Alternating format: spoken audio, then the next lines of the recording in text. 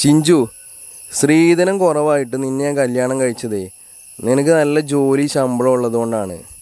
അപ്പോൾ ആ പ ആ ശമ്പളം ജോലിയും കളഞ്ഞിട്ട് ഈ പരിപാടിയൊക്കെയായിട്ട് ഇറങ്ങിയ കാര്യം നടക്കൂല.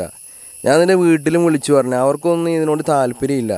പിന്നെ നീ മാത്രം ഇതിനെ ഇത്ര മെനക്കെട്ട് ഈ ഈ പരിപാടിക്ക് ഇറങ്ങിയിരിക്കുന്നേ? ഇത് നിർത്തിക്കോ. അതാണ് നിനക്ക് നല്ലത് അപ്പോൾ പെണ്ണ് കാണാൻ വന്നപ്പോൾ ഇതൊന്നും അല്ലായിരുന്നല്ലോ പറഞ്ഞത്? സ്ത്രീധനം വാങ്ങില്ല എന്നോ ഭയങ്കര ആദർശമൊക്കെ ആയിരുന്നല്ലോ പിന്നെ നിനക്ക് ഇഷ്ടമുള്ളത് ചെയ്യാം കല്യാണം കഴിഞ്ഞ് പഠിക്കണമെങ്കിൽ പഠിക്കാം. അപ്പം ഇപ്പം അതൊക്കെ മാറിയോ? പിന്നെ വീട്ടുകാരുടെ കാര്യം. അവർ പിന്നെ അന്ന് എനിക്ക് ഇഷ്ടമുണ്ടോ എന്റെ ഇഷ്ടം നോക്കാണ്ട് വെറുതെ എന്നെ ഉന്തിത്തള്ളി അതിന് വിട്ടു. അന്നേ എനിക്ക് താല്പര്യമില്ല എന്ന് പറഞ്ഞതാണ് പക്ഷെ അവരത് കേട്ടില്ല.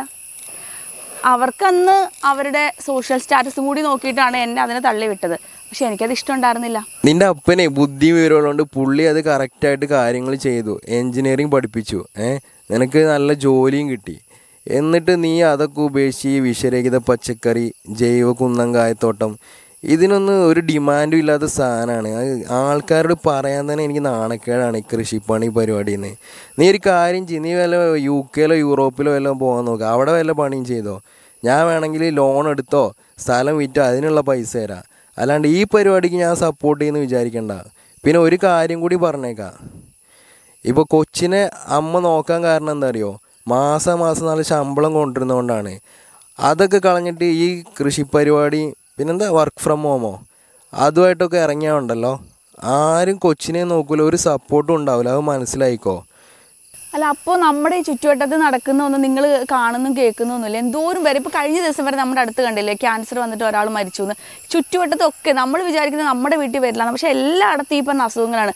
എന്ത് പൊണ്ണത്തടി ഫാറ്റി ലിവർ അതുപോലെ തന്നെ ഡയാലിസിസിനൊക്കെ ഇപ്പോൾ എന്തോ ഒരു യൂണിറ്റാണ് തുറന്നുകൊണ്ടിരിക്കുന്നത് ഇപ്പം ഞാനിപ്പോൾ ഇത് ചെയ്യുന്നത് കുട്ടികൾക്ക് വേണ്ടിയിട്ടാണ്. പക്ഷേ എന്നാലും ഈ ഇപ്പോൾ നോക്ക് ഈ കാട് ഇത് വെട്ടിത്തെളിച്ച് ഞാനൊരു കുന്നംവാഴയുടെ കുന്നംവാഴ തോട്ടം ഉണ്ടാക്കിയിട്ടുണ്ടെങ്കിൽ കുട്ടികൾക്ക് ജൈവവളം ഇട്ടിട്ട് മാത്രമാണ് ഞാൻ ചെയ്യുന്നത്. രാസവളം ഒന്നും ചേർക്കാണ്ട് ജൈവവളം ഇട്ട് ചെയ്തിട്ടുണ്ടെങ്കിൽ അവർക്കെങ്കിലും ഇപ്പോൾ നമുക്കില്ലേ ചെറിയൊരു കൊച്ച് അപ്പോൾ അവർക്കൊക്കെ ഒരു മായവും കലരാത്ത ഫുഡ് കൊടുക്കണം എന്ന് ഇപ്പോൾ എനിക്ക് കൊച്ചിന് കൊടുത്തപ്പോഴാണ് എനിക്ക് ഇതൊരു നല്ല രീതിയായിട്ട് തോന്നിയത്. കാരണം ഒരുപാട് സ്ത്രീകളും ഒരു ഇതുപോലെ നല്ല ജൈവവളം ഇട്ട് വളർത്തിയിട്ടുള്ള കുന്നംവാഴയുടെ പൊടി ഉണ്ടോ എന്ന് അന്വേഷിക്കുന്നുണ്ട്.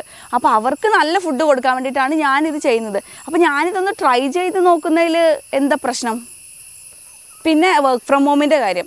ഇപ്പം എന്തോരം സ്ത്രീകളാണെന്നറിയോ? പുറത്ത് പോയിട്ട് ജോലി ചെയ്യാൻ പറ്റാത്തവരുള്ളത്. അപ്പോൾ അവർക്കൊരു അവർക്കൊരു വരുമാനം അവരുടെ നിത്യ ചെലവുകൾക്കും അവർക്ക് കുട്ടികളുടെ കാര്യങ്ങൾക്കും ഒക്കെ അവർക്ക് ഒരുപാട് ആളുകൾ പൈസയ്ക്ക് വേണ്ടി ബുദ്ധിമുട്ടുന്നുണ്ട്. അപ്പോൾ അവർക്കൊരു അവസരം എന്നുള്ള രീതിയിൽ അവർക്കൊരു വർക്ക് ഫ്രം ഹോം ഓപ്പർച്യൂണിറ്റി കൊടുക്കുന്നതിൽ എന്താ തെറ്റ്?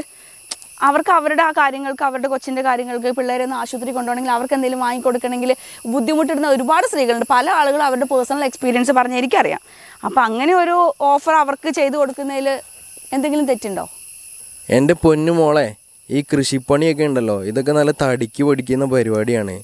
ഇതൊന്നും നടക്കൂല.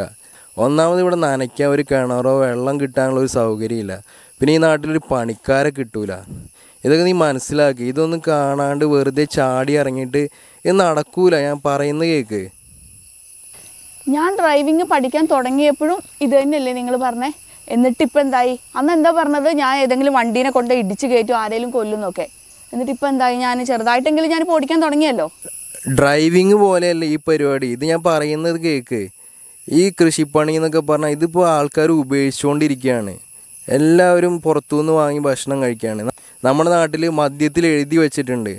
മദ്യപാന ഹാനികരമാണ് ശരീരത്തിന്. എന്നാലും ആൾക്കാർ വാങ്ങി കുടിക്കും. അങ്ങനെയുള്ളൊരു നാട്ടിൽ ഈ വിഷരഹിത പച്ചക്കറിയുടെ ഇമ്പോർട്ടൻസ് എന്താണെന്ന് എനിക്ക് മനസ്സിലാവുന്നില്ല. ഞാൻ അതുകൊണ്ട് വീണ്ടും വീണ്ടും പറയുകയാണ് ഈ പരിപാടി മുന്നോട്ട് പോവില്ല ഇതിനൊന്നും ഇതൊന്നും ചോദിച്ച ആൾക്കാർ വരൂല. അത് നിനക്ക് അറിയാണ്ടാണ് പിന്നെ ഈ വർക്ക് ഫ്രം ഹോം ഇല്ലേ? ഈ വർക്ക് ഫ്രം ഹോം പരിപാടി എന്ന് പറയുമ്പോൾ തന്നെ ഓൾറെഡി പിള്ളേരും അടുക്കളപ്പണിയൊക്കെ ആയിട്ട് സെറ്റായിട്ടിരിക്കുന്ന വീട്ടമ്മമാരാണ്. അവർ അവർക്ക് അവർക്ക് പൈസ വേണമെന്നൊക്കെ ആഗ്രഹം ഉണ്ടാകും അപ്പോൾ അവർ എന്ത് എഫേർട്ട് ഇടും? എനിക്ക് തോന്നുന്നില്ല. അവർ അവരുടെ കംഫർട്ട് സോൺ ബ്രേക്ക് ചെയ്തിട്ട് ഒരു എക്സ്ട്രാ എഫേർട്ട് ഇട്ട് അവർ മുന്നോട്ട് വരുന്നത് പക്ഷേ എനിക്ക് ആലോചിക്കുമ്പോൾ തന്നെ നാണക്കേടാവുന്നു. ഇവിടെ ഓരോരുത്തർ എന്റെ ഭാര്യ യു കെയിലാണ് യൂറോപ്പിലാന്ന് പറയുമ്പോൾ ഞാൻ എന്താ പറയേണ്ടത്? ഈ യു കെയിലൊക്കെ പോകാൻ എല്ലാവർക്കും പറ്റും. അത് എളുപ്പമായിട്ട് ചെയ്യാം. പക്ഷെ ഞാൻ ഈ പറഞ്ഞ കാര്യം ചെയ്യാൻ ഇവിടെ നിന്ന് ചെയ്യാനാണ് ബുദ്ധിമുട്ട്. അത് മാത്രമല്ല എൻ ഞാൻ എന്താ ഉദ്ദേശിക്കുന്നതെന്നും കൂടി നിങ്ങൾ മനസ്സിലാക്കണം. ഒന്നാമത്തെ കാര്യം ഈ പറഞ്ഞ വീട്ടമ്മമാർക്ക് അവർക്കൊരു വർക്ക് ഫ്രം ഹോം ഓപ്പർച്യൂണിറ്റി കൊടുക്കാനാണ് പിന്നെ അതിൽ ഏറ്റവും അതിനേക്കാളും വലിയൊരു കാര്യം എന്ന് പറയുന്നത് നമ്മുടെ കുഞ്ഞു കുട്ടികൾക്ക് വിഷ ഇല്ലാത്ത കുന്നങ്കായ പൊടി കൊടുക്കാൻ വേണ്ടിയിട്ടാണ്. അപ്പോൾ കാരണം ഇപ്പം എല്ലായിടത്തും കിട്ടുന്നത് വിഷം ഇട്ടതും രാസവളം ഇട്ടതും മാത്രമാണ് അപ്പോൾ ഈ രണ്ട് ഇത് രണ്ടുമാണ് എന്റെ ഉദ്ദേശം. ഇതെനിക്ക് യു കെ പോയിരുന്ന് ജോലി ചെയ്താൽ കിട്ടും. അവിടെ ഒരു സിസ്റ്റത്തിന്റെ മുമ്പിലോ കമ്പ്യൂട്ടറിന്റെ മുമ്പിലോ ഇരുന്നിട്ടുണ്ടെങ്കിൽ എനിക്ക് ഞാൻ ഉദ്ദേശിക്കുന്ന ഈ ആശയം എനിക്ക് ഇവിടെ നടപ്പാക്കാൻ പറ്റത്തില്ല. അപ്പോൾ എനിക്ക് എന്താണേലും ഇതുമായിട്ട് മുമ്പോട്ട് പോകാനാണ് എന്റെ തീരുമാനം. ശരി നമുക്ക് കാണാം. എന്തായാലും എന്റെ എന്റെ വീട്ടുകാരുടെ ഒരു സപ്പോർട്ടും ഉണ്ടാവില്ല കേട്ടോ. നിനക്ക് എത്രത്തോളം ചെയ്യാൻ പറ്റുന്നെന്ന് കാണട്ടെ. നാണം കിട്ടുന്ന നീ അവസാനം പിന്മാറിയില്ലെങ്കിൽ നോക്കിക്കോ